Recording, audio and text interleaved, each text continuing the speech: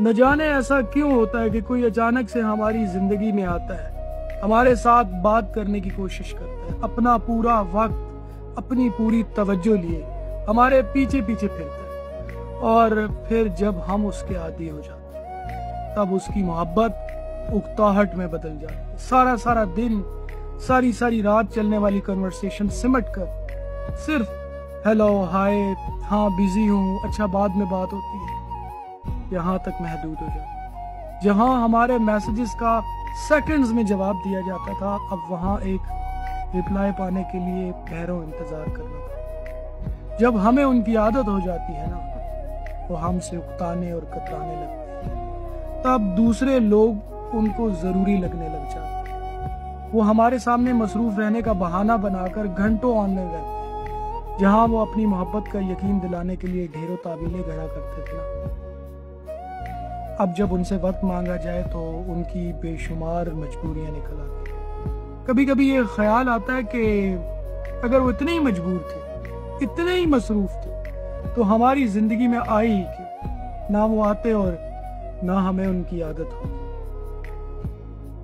जिनको नित नए चेहरों से मोहब्बत हो जाती है ना, मैं आज उनको एक छोटी सी कहानी सुनाना चाहता हूँ एक शख्स की।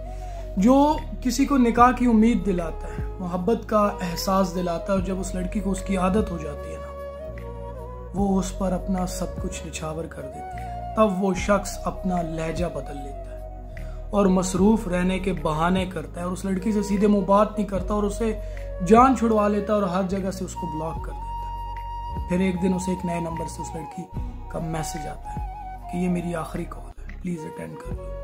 वो उसे कहता है कि तुम्हारे पास सिर्फ़ दो मिनट है, जो कहना है कह लो, उसके बाद ये नंबर भी ब्लॉक कर लो। बोलो आप। दूसरी तरफ़ से एक मिनट चालीस सेकंड तक सिस्कियों की आवाज़ आती है और फिर वो लड़की उसे एक जुमला कहती है कि, मैंने तुम्हें माफ़ किया, लेकिन मोहब्बत तुमसे ज़रूर इंतकाम लेगी। और फिर कॉल कट हो जाती है और ये पहली बार हुआ होता है कि वो लड़की खुद कॉल काट देती है। जबकि उस लड़के ने उसे पूरे दो मिनट दिए होते हैं और कॉल एक मिनट पचास सेकंड पे कट हो जाती है। और बचे हुए दस सेकंड उस शख्स पे भारी पड़ जाते हैं। और पता है, वो शख्स इतने सालों बाद भी वही दस सेकंड गुजार रहा है। इसलिए अगर फ्री हो टाइम पास कर क्रिकेट खेलो बैडमिंटन खेलो, जो मर्ज़ी है खेलो। लेकिन कभी किसी के दिल के साथ, किसी की ज़िंदगी से, किसी के जज्बात से मत खेलो मोहब्बत रिस्क होती है। अगर कोई आपसे मोहब्बत करने लगता है तो यह आपका कमाल नहीं है। बल्कि ये तो अल्लाह का ख़ास करम है। जब वो आपसे खुश होता है ना तो किसी ऐसे इंसान को आपकी ज़िंदगी में भेज देता है, जो आपसे बेपनाह मोहब्बत करता है, आपकी फ़िक्र करता है, और वही तो है जिसने किसी के दिल में आपके लिए मोहब्बत डाली होती है। ना? और इसलिए तो कभी कभी ऐसा इंसान आपसे मोहब्बत करने लगता है जिसको आप जानते तक नहीं होते। और किसी को ये रिस्क ढेरों ढेर मिलता है और कोई इस रिस्क के लिए हमेशा तरसता है। और जब अल्लाह आपको ये रिस्क अता करता है तो अक्सर आप इस रिस्क की कदर नहीं करते। तब आपसे ये रिस्क छीन लिया जाता है और फिर आपके पास कुछ नहीं बाकी बचता। अगर आपके पास ऐसा रिस्क है तो कदर कीजिए।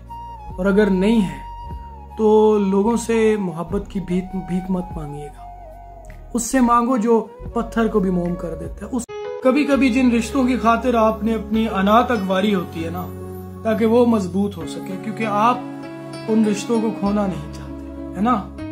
यकीन करें, एक ऐसा वक्त आता है, वही लोग, वही रिश्ते आपको खुद से वार के फेंक देते पहले घंटों बातें होती फिर कुछ मिनट और फिर आहिस्ता आहिस्ता लहजे बदलते मसरूफियात बढ़ती हैं। बहुत सी मजबूरियाँ निकल आती हैं और फिर बस मोबाइल में सिर्फ़ एक नंबर सेव रह जाता है। पता है कभी कभी दिल करता है कि उस नंबर पे एक मैसेज करें कि तुम्हारी बहुत याद आती है। तुम्हारी ज़रूरत है। वापस लौटो। लेकिन फिर ख्याल आता है कि जो वजह बताकर नहीं, वजह बनाकर छोड़ गए हो, उससे वक्त की भीख क्या मांगी उसकी क्या मिन्नतें कर?